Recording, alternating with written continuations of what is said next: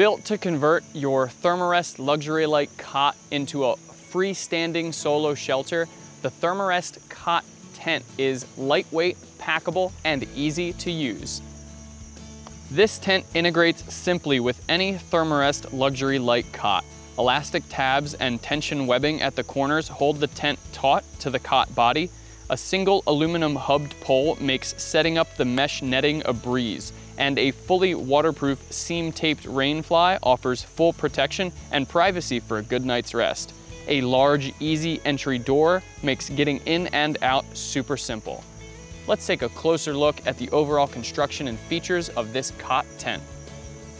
The Therm-a-Rest cot tent is a combination of the bug shelter, the Therm-a-Rest Luxury Light bug shelter, and a rainfly. That bug shelter, which hides comfortably underneath this rainfly, is a fully nylon mesh material. It's got a really fine no-see-um mesh in the body, and the floor is a slightly more broad mesh to allow for breathability and ventilation while still protecting from bugs.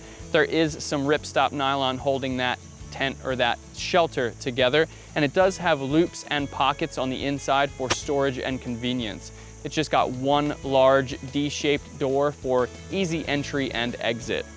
On top of that, right here, we've got the Rainfly. It's a 70D polyester Rainfly. It is fully seam taped. It is protected, so it's gonna offer full waterproof protection. Really simple design. It's really easy to set up.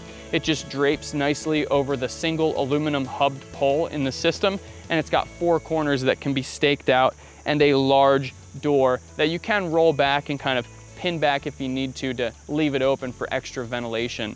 That door does have a storm flap over the top, so you do get some extra protection from rain.